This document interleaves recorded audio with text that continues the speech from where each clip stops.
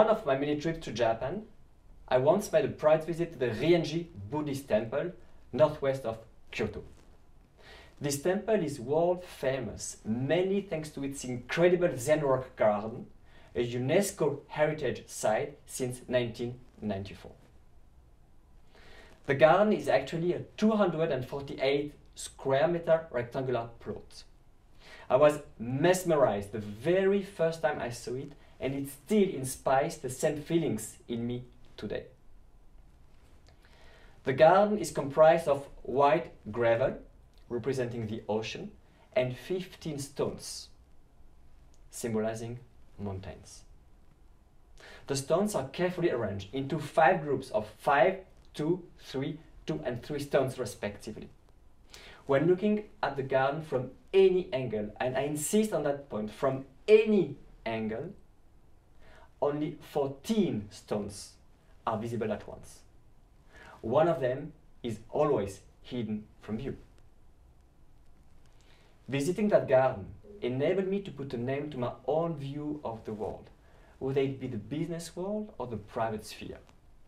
And I believe very firmly that we should never, never be content with what we think we, we know, but we must seek new perspectives.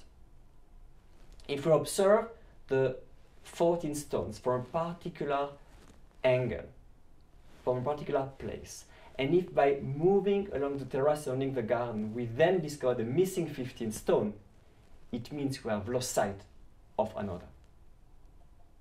In other words, our vision of the world around us can never be complete, but only partial. We never, never see the whole panorama, but only fragments. And it is that inability to see everything at once that opens us up to possibilities, makes us capable of imagining new ideas, designing new solutions, finding new interpretations, or building on what already exists.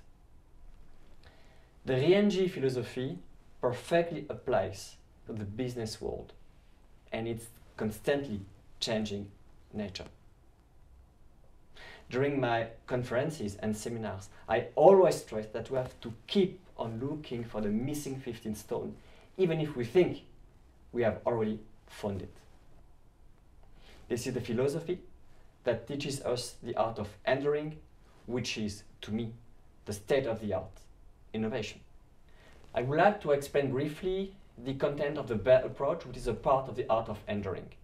I've developed this business approach with my close friend Jonas Hoffman after having analyzed years long different companies in prêt-à-porter, watchmaking, art, gastronomy, jewelry, and so on in different countries and is based, of course, on my own experience as well. BEAR, five letters. B for believing. A for anticipating, A for acting, R for reaching, E for enduring. B for believing. Believing this is the passion that drives an entrepreneur, a business leader, a CEO. It is a vital energy that cannot be taught or created. Either you have belief or you don't. It cannot be learned even at the most prestigious business schools.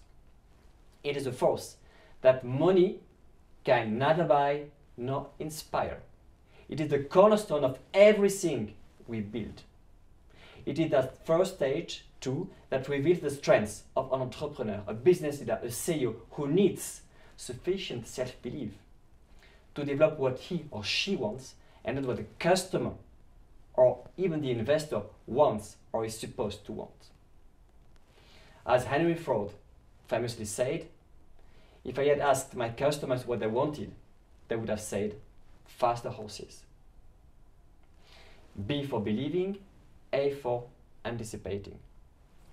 Anticipating is the crystal clear vision every business leader, every CEO, every entrepreneur needs of the market, the environments, and the state of competition.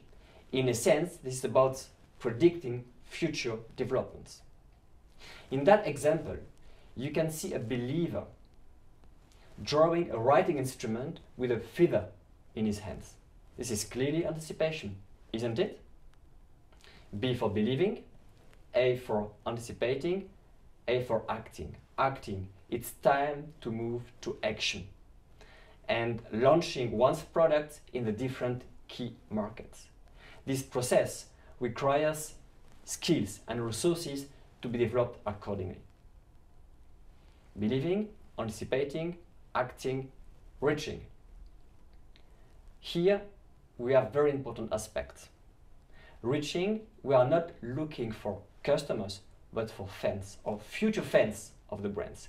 We are looking for the people who will love the brands, its products, and be real ambassadors for it. The emotional aspect is key to this. And last but not least, E for enduring. Enduring, this is the temporal aspect, answering the challenges that the brand can stand the test of time and go from strength to strength.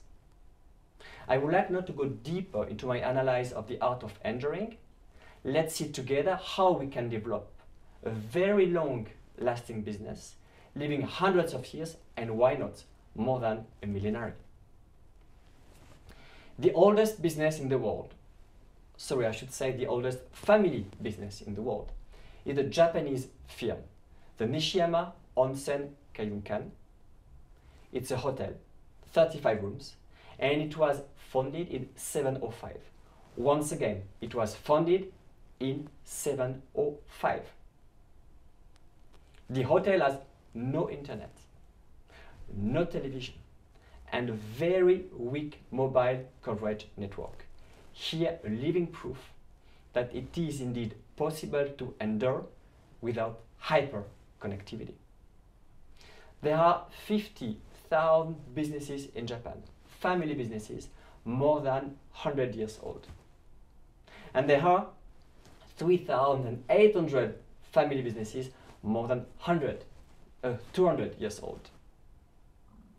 If you are interested in understanding the secret of durability, for sure, Japan is one of the key places to do so. For that reason, in the summer of 2017, I boarded a flight to Japan, specifically to Komatsu. Komatsu is home to an ancient ryokan. Ryokan is an old Japanese inn, still in the business, named Hoshi, and founded in 718. Once again, founded in the year 718. To this day, the ryokan is still owned by the same family. Zengoro Hoshi, the 46th generation of the family managing the Hoshi Ryokan, after long hours discussion, shared with me the secret of durability, which are, according to him, first, make mistakes in order to understand and move forward more durably. Make mistakes in order to be able to question yourselves constantly. And last but not least, learn for yourself from experience. Like a tree whose roots grow deeper when it faces the wind, it is only by getting things wrong and learning from one's mistake that a business can truly take roots for hundreds, hundreds of years and why not more than a millenary. I would like now to share with you something very personal. It's not connected to the business world, but 100% to the art of enduring.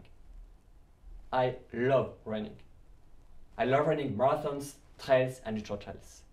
And what I like most is getting out into nature and being alone with myself.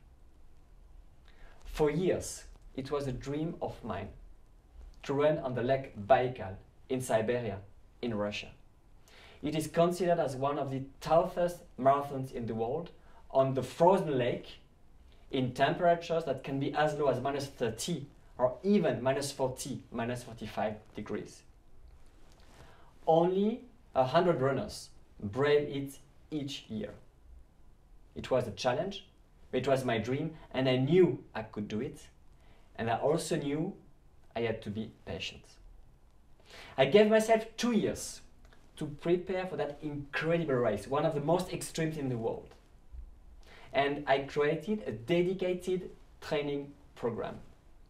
Then, eight months approximately before running on the Lake Baikal, on the frozen lake, I took part in an ultra trail in south of France. And for the first time in my life, I was not able to finish the race. I had hypothermia. My body was overheating and could not cool down. What could I do? It was a terrible experience for me. If I kept on running, I would be putting myself in serious danger.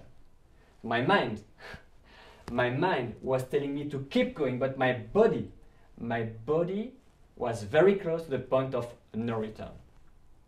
I was forced to stop, struck down with leg cramps and vomiting. It was not my proudest moment in life, as you can easily imagine. My friends and family all told me that it was a sign and I had to stop running marathons, trails, and ultra trails. But I was determined, so determined, that nothing, nothing could stop me, and I kept on training. And a few weeks later, I was not able to run at all. I had a terrible pain because of my left calf. And I had x rays, I consulted um, doctors, sports doctor, but nothing, nothing worked. Apparently, my body was very fine, and there was no explanation for the pain. But I was not able to run anymore. My friends, my family told me that I had to stop running again and again. But I had the conviction I should keep going. I could not explain why, but it was something inside of me. So I took the time to look at what I'd been doing wrong, and I realized very quickly that I'd been training too hard. My body simply could not take the strain I was putting on it. So I learned from my mistakes. And eight weeks, I insist on that point, eight weeks only before running on the frozen Baikal Lake, I decided to change my training program. And I started walking 20 kilometers a day, every day. It was a fast walking, but never, never running. Yet again, my friends and my family told me that my new training program was no longer suited to a challenge of that scale. And yet again, I ignored them and followed only my own conviction. And finally, the big day arrived. Alongside around 100 runners coming from 30, 35 countries, I lined up at the start of one of the toughest, one of the most grueling races in the world, running on the frozen lake in extreme temperatures. And you know what? It went extremely great. Not only did I finish the race, but my time was quick enough that I now can dream of running the North Pole Marathon. It will be my next challenge. If I had to conclude about the art of enduring, and if I had to give you one piece of advice on how to set a course and keep going, no matter what can happen or what other people around you are telling you, life it would be this. Business or in your private life, it would be this. Be patient, be perseverant, and always, always have faith.